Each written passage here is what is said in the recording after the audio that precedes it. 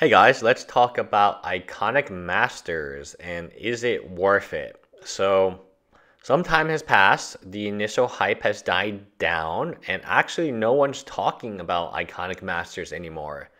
It's quite interesting that with so many products and so many places to spend money, November and December, in my opinion, are the best times to buy collections. Everyone is selling because holidays, right? Holiday vacations and travel is expensive. Holidays are very expensive, at least for me personally. But I always save money for the end of year so I can buy other people's collections. I have not bought collections for some time, and I haven't really purchased any large Magic the Gathering. So Iconic Masters has to be fantastic for me to say, okay, I'm going to give up my opportunity to buy my friends' collections and open just random value. Now, the hype died down just really, really fast, like surprisingly fast. Uh, it there's not much more. There's not much promotion on this product. I know local game stores are not really doing drafts on it. People are very you have to buy non-magic gifts, right, for your non-magic friends and families. So December, November, good time to buy collections, maybe bad time to buy Magic Sealed. And I will talk about the other big sealed product that's coming is Unstable and which one to buy if you were going to buy any. So we have the Mythics, we have Mana Drain, and then we have Nada. So it's Mana Drain or Bust. Uh, I'm not a big fan of Mythics, but I don't like the fact that there's a $100 Mythic and there is a $2 Mythic. So Mythics are hit or miss out of your box of 24, maybe you get two to four Mythics. Well, if you got, you know, let's say Nick's list and then channel $6 of Mythics, this is a highly, highly gamble product. Uh, it's for gamblers, and not everyone is going to pull value, and the majority of you will not pull value. In fact, many of you will cry after you get your channel. I do wish that there was more of an even spread. So unstable, the spread is going to be incredibly even. It's going to be just the land. That being said, the expected value to land has, has to be less than the box value. Otherwise, people will just continue to crack them for the guaranteed land. So I expect the unstable lands to be at dollar. Maybe the islands are two dollars for a long time. And I'll explain. I looked at some data graphs. I looked at the Amonkhet ones. I looked at a lot of the information about the four art lands, and I've come to a conclusion that unstable is actually not worth buying, which I will explain in detail in the next video. But we're going to focus on iconic masters. This is a very good time if you want to buy singles for even mana drain for 100 is not bad. But imagine if there was no mana drain in this set. Wow, it would be an awful set. I mean, people would say that it's an awful set, but for the large majority of you who open a box, you will not get a mana drain. Uh, and you're going to get anywhere between 10 to $30 worth of mythic value, maybe 40, 50, 60 if you get lucky. And the value may or may not be in the rares. So here's the interesting part where we see Champion, Bloodghast, Glimpse, Magnus, Thoughtseize, Grove, Cryptic, Ancestral Visions, Aether Vial, Flusterstorm, and Canopy. These are the only cards that are over the MSRP value of $10. Meaning if you open a pack and you typically do not see one of them, now the foils and the commons, we'll talk about Bauble a little later and Bauble is the big equalizer here, you're not going to make back the value of the pack. Definitely, and that's the retail value of the pack. So talking about buy listing, you can divide these prices by half, and out of that, Grove, Cryptic, Visions, Vial, Storm, and Canopy, they're the only ones that you've broke even at. So overall, it is fascinating. It's something that I would say is not great. There's not a lot of value here in terms of, okay, let's open a box and make money. If you want to draft it, fine. That makes sense to me. Drafting cards means you, you get additional entertainment value.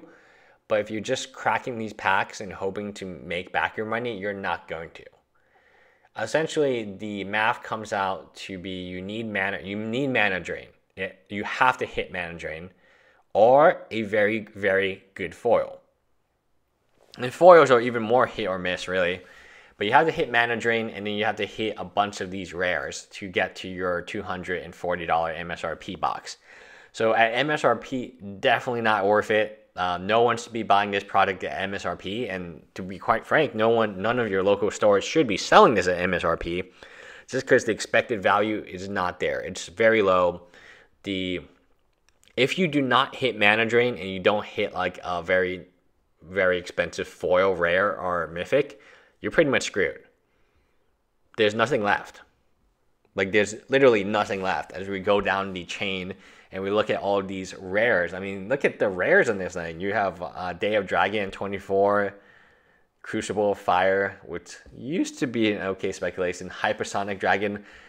You pay $10 for a pack and you pull a Charmbreaker Devil at 20 cents.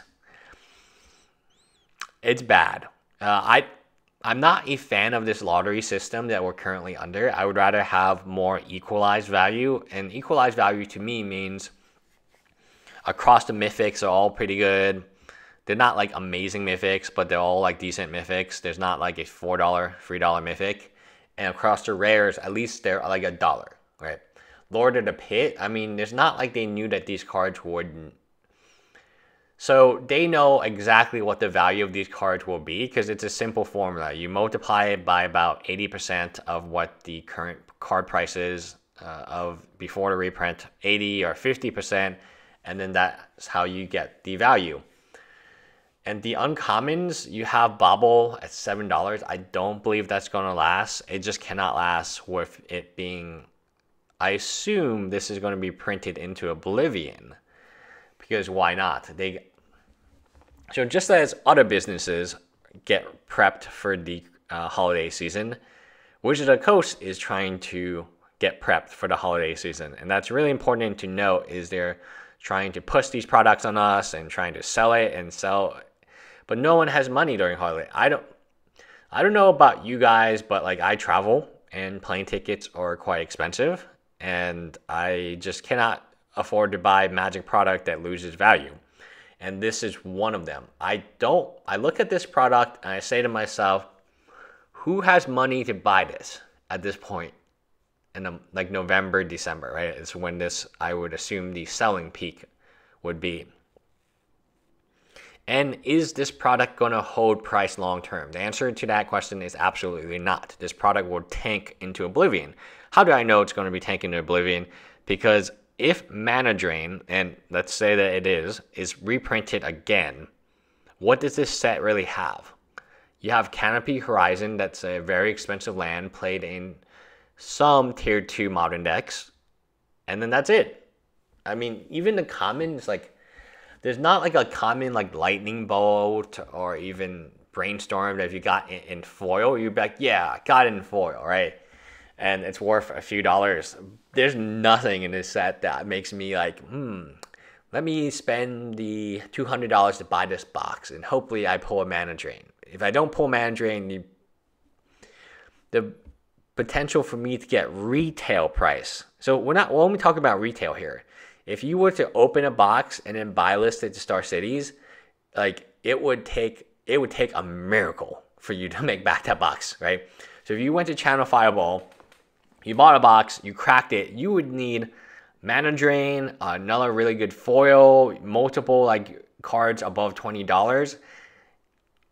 You would you would need like 300 $350 of value and to break not even to even break even. Like it's insane. Like think about what it would cost for you if you went to channel fireball or uh, card kingdom. Ooh, text uh, card kingdom. How how much value would you have to pull? You would have to pull so much value to sell that same box that you just bought for 200 240 and give it back to them in singles right? It's impossible. Ugh, it's ugly anyway that is it. Bye guys